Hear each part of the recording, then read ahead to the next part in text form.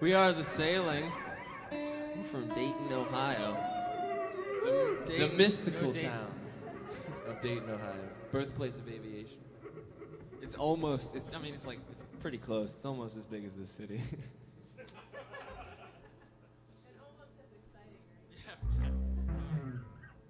Um, this one's called. Oh, this one's called the Burning Legion.